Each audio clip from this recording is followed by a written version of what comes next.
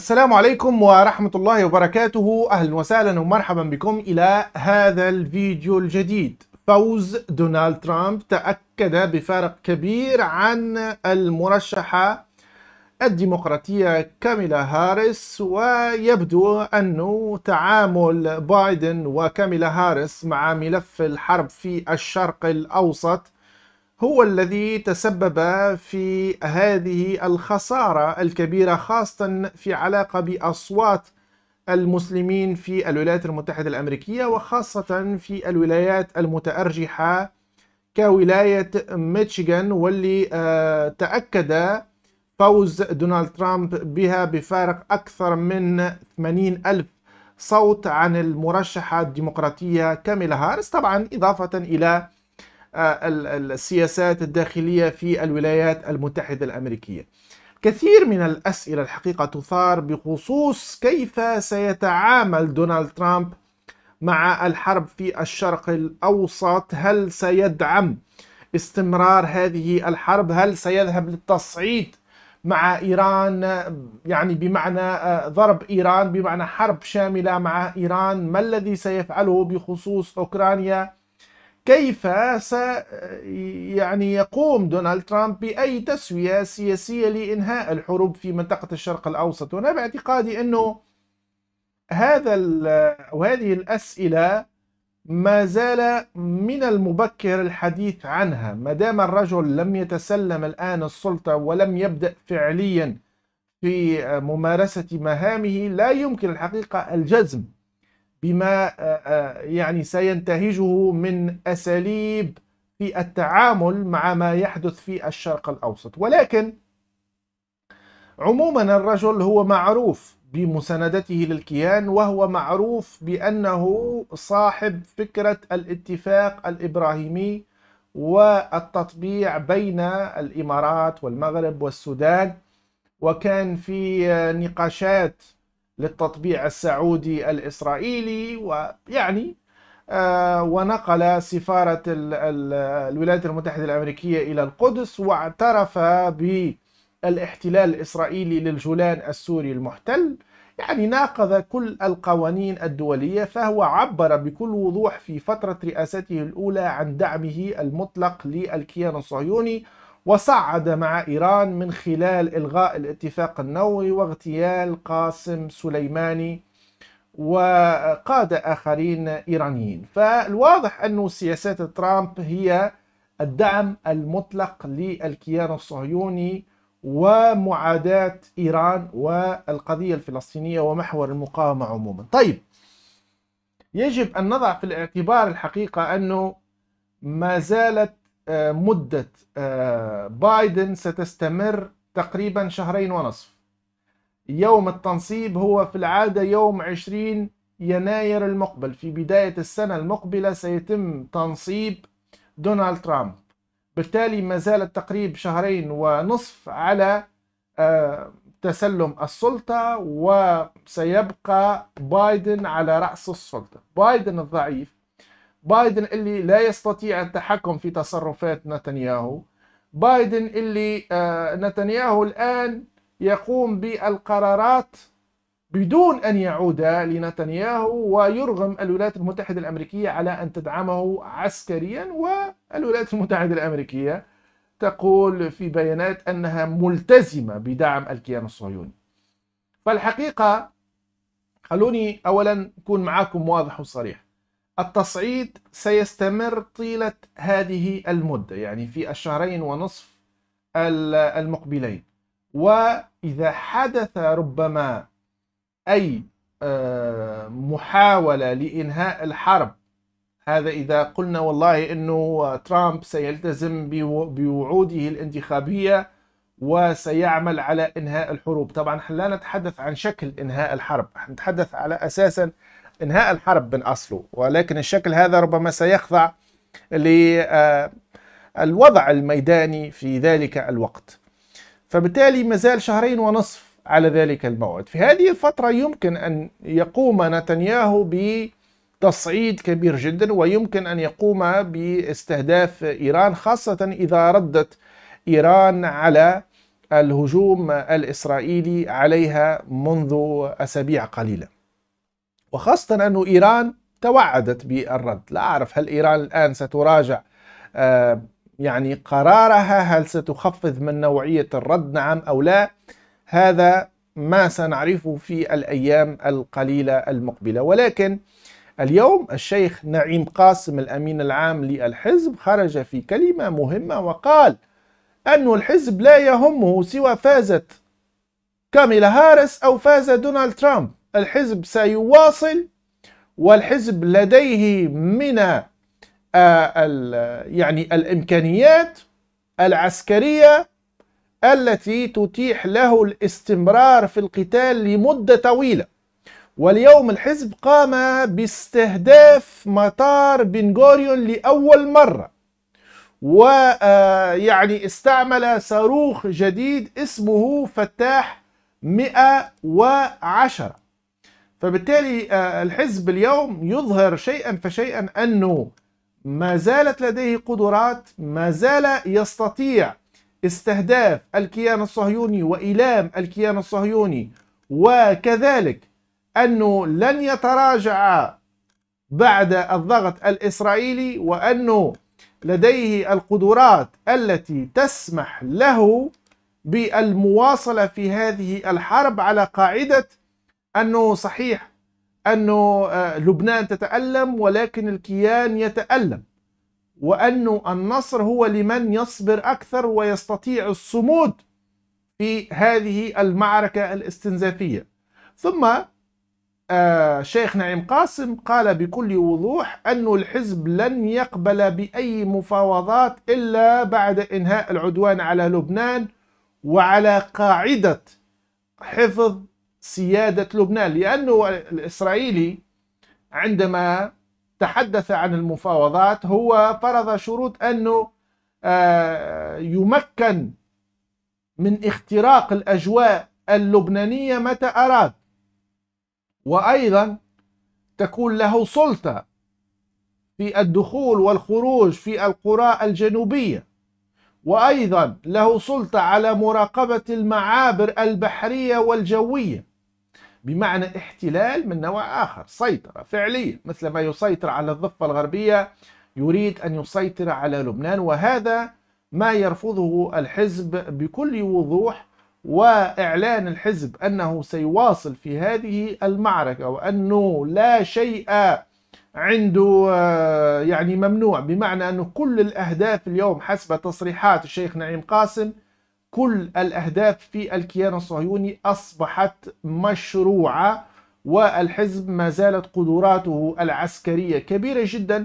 والدليل على ذلك كما قلنا أنه قام بقصف الكيان الصهيوني بصاروخ باليستي من نوع آه، فاتح وليس فتاح عفوا من نوع فاتح 110 وهذا الصاروخ طبعا عنده قدرات آه، يعني تدميرية ووزن رأسه الحربي 500 كيلوغرام ويستطيع الوصول إلى مدى 500 آه، كيلومتر بمعنى أنه يستطيع أن يضرب أي مكان في فلسطين المحتلة ويعمل بالوقود الصلب.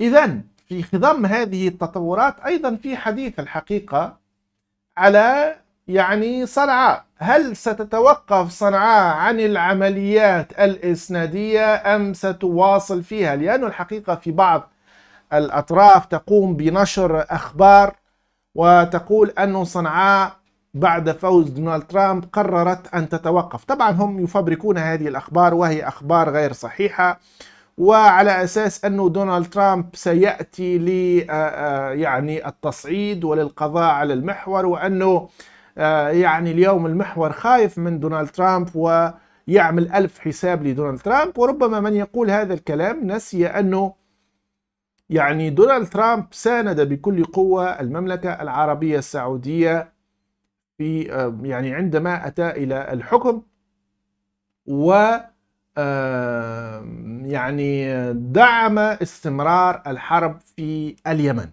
إضافة إلى أنه دونالد ترامب هذا الحقيقة ما الذي سيفعله يعني؟ أكثر مما فعله بايدن. هذا هو السؤال المطروح. طيب الولايات المتحدة الأمريكية على مدار سنة كاملة تقوم بقصف اليمن واستعملت طائرة بي 2 سبيرت الشبحية وهي أقوى طائرة موجودة في الولايات المتحدة الأمريكية. وتستعملها في المهام يعني المهمة في المهام اللي يعني تستوجب آه، استعمال قنابل خارقة للتحصينات تحت الأرض. واستعملوها. ومع هذا عمليات صنعاء لم تتوقف. ما الذي سيفعله دونالد ترامب؟ هذا هو السؤال. هل سيقوم بنشر آه، جيش أمريكي على الأرض اليمنية؟ إجابة هي لا لا نتوقع هذا لأنه في عهد دونالد ترامب الحقيقة لم يقم ب آه، آه، يعني إشعال أي حرب صحيح أنه دعم دعم يعني المملكة العربية السعودية في التحالف العربي ولكن لم يرسل الجيش الأمريكي خارج الحدود وهو كان يتحدث على أنه الولايات المتحدة الأمريكية يجب ألا آه، يعني تشارك في أي حروب. وبالتالي الآن موقفه ربما يتغير ولكن وحتى إن تغير حتى وإن تغير موقف ترامب من التطورات في المنطقة وعلى أساس أنه سيأتي لمساعدة إسرائيل على التخلص من الحزب والمحور المقاومة والمواجهة مع إيران من أجل تغيير خريطة الشرق الأوسط. ولكن إذا افترضنا هذا جدلا طيب ماذا سيفعل؟ سيرسل الجيش الأمريكي إلى اليمن؟ ستكون الحقيقة مقتلة كبيرة للجيش الأمريكي. ثانيا سيقصف على مدار سنة والولايات المتحدة الأمريكية تقصف. وأرسلوا حاملات الطائرات وطائرة B 2 Spirit وطائرة MQ 9 يعني يتم إرسالها لجمع المعلومات وصنعاء تقوم بإسقاطها. ما الذي سيفعله دونالد ترامب؟ لا شيء الحقيقة. خلونا نكونوا شوف يعني أنا خليني أفسرها لكم بكل وضوح بكل وضوح الآن. دونالد ترامب يستطيع أن يدعم إسرائيل مثلا في حربها على لبنان لأن الظروف تختلف من لبنان على اليمن. يستطيع أن يدعم إسرائيل في مواجهة مباشرة على إيران. لأنه في أهداف محددة كذا وعقوبات اقتصادية يعني يستطيع أن يدعم إسرائيل في هذا التوجه ويضغط على إيران. ولكن في اليمن ضد جماعة أنصار الله ما الذي سيفعله مثلا؟ لا شيء يعني في نهاية الأمر. لا شيء. الحرب هناك حرب مستمرة دعم الأطراف اليمنية أنا باعتقادي أنه هذه العملية أنه والله تقول لي دعم الأطراف اليمنية من أجل آه، عودة الحرب في اليمن. أعتقد أنه هذا قرار سيكون قرار غبي جدا تتخذه الأطراف اليمنية لأنه ستزهق الآلاف من الأرواح والنتيجة لا شيء. الحل في اليمن لا يمكن أن يكون إلا عن طريق الحوار ونحن نتحدث على الحل اليمني اليمني. عن طريق الحرب أثبت الواقع أنه لا يمكن تغيير المشهد في اليمن عن طريق الحرب بل بالعكس شعبية أنصار الله ستزيد. إذا تم فتح جبهة حرب في اليمن شعبية أنصار الله ستزيد لأنه إحنا نتحدث على جماعة اليوم موجودة في اليمن يعني جماعة يمنية مش مش جاية من خارج اليمن جماعة يمنية وعندها أنصارها. كما مثلا حزب الإصلاح عنده أنصاره كما أنصار الله لديهم أنصارهم. فاحنا اليوم نتحدث على جماعة موجودة متغلغلة في اليمن. فالحل لا يمكن أن يكون إلا بالحوار وإحنا نتحدث على الحل اليمني اليمني. أما التصعيد الخارجي ففرضا قصفت الولايات المتحدة الأمريكية وزادت من وتيرة القصف. ما الذي ستغيره في النهاية؟ هل ستقضي على فكر جماعة أنصار الله؟ هل ستقضي على هذا التنظيم؟ إجابة واضحة باعتقادي هي لا. محمد البخيتي القيادي في حركة أنصار الله وعضو المكتب السياسي قال عملياتنا العسكرية في البحر الأحمر وفي عمق الكيان الصهيوني ستستمر ولن تتأثر بوصول ترامب للسلطة ولن تتوقف إلا بوقف جرائم الإبادة الجماعية في غزة ورفع الحصار عن سكانها وسنقابل التصعيد بالتصعيد.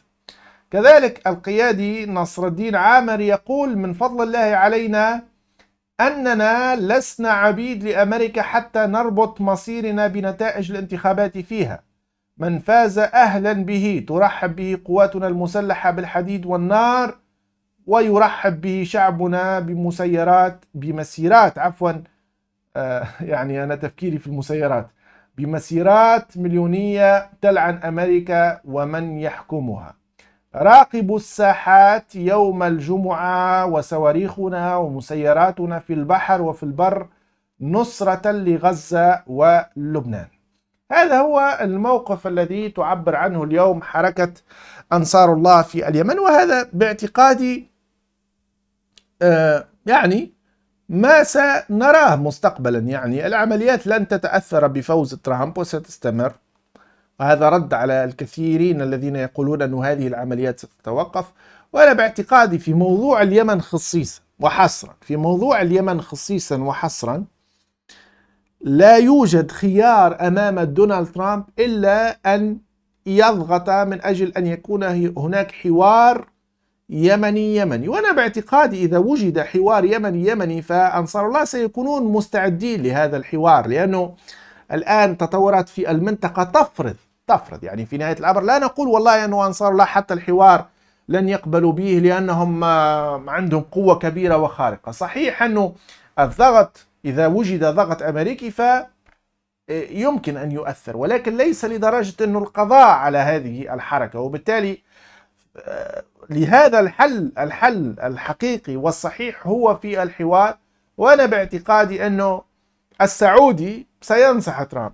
السعودي صديق ترامب سينصح ترامب لأنه المملكة العربية السعودية أخذت تجربة من الوضع في اليمن وباعتقادي أنهم سينصحون ترامب من أجل الضغط على مسار يعني السلام في اليمن من أجل تحقيق السلام في اليمن وهذا ربما هذا المسار يمكن أن ينجح ولكن الحرب والتصعيد هذا مسار لا يمكن أن ينجح. الفرضية قائمة يعني يمكن يمكن أن يتم التوجه نحو هذه الفرضية ولكن نتائجها معروفة. الشعب اليمني هو غير الشعوب الأخرى. الشعب اليمني هو شعب مسلح. الشعب اليمني يحمل ثقافة قتالية. هذا خلافا عن الشعوب الأخرى. وليش أقول لكم أنه حصرا الشعب اليمني؟ يعني لأنه الشعب مسلح. الشعب يحمل ثقافة قتالية. وأي حرب لن تنتهي بسهولة. وبالتالي هذا الخيار باعتقادي أنه يعني لو تم الذهاب إليه فستكون نتيجته غير يعني غير محبذة بالنسبة للولايات المتحدة الأمريكية في النهاية. ما سيحدث في باقي المنطقة؟ أنا باعتقادي أنه دونالد ترامب سيسعى بكل قوة للضغط على إيران إما بمواجهة محدودة وضغط اقتصادي. طبعا الضغط الاقتصادي هذا لا مفر منه. يعني ضغط اقتصادي وإلغاء الاتفاق النووي وربما ضرب مفاعلات نووية سيحاولون الضغط على إيران لتبقى ضمن حدودها وبالتالي قطع التمويل والدعم عن الحزب وعن حركات المقاومة. ويستطيعون الضغط على آه، طبعا الفصائل الموجودة في العراق يستطيعون الضغط على الفصائل الموجودة في العراق. آه، يستطيعون الضغط على الحزب في لبنان آه، ولكن على صنعاء لا. وفسرت لماذا؟ الحزب حزب الله في لبنان طبعا لديه إمكانيات وهذه الإمكانيات لا يمكن أن تنتهي طبعا آه، بسهولة هكذا ويمكن في ليلة وضحاها يقوم دونالد ترامب بتغيير الوضع الوضع. إذا كان هناك قرار بالتصعيد واستمرار الحرب فهذا باعتقادي أنه سيتطلب سنوات لتغيير الواقع الموجود. هذا إذا قرر الحزب طبعا المواصلة وما نسمعه الآن من الحزب أنه مستعد للمواصلة وأنه لن يتراجع. طبعا إحنا نشوف هذه قراءات آه، ما زالت الأمور غير واضحة كليا. سنراقب ونتابع ونرى ماذا سيحدث. شكرا لكم وإلى اللقاء.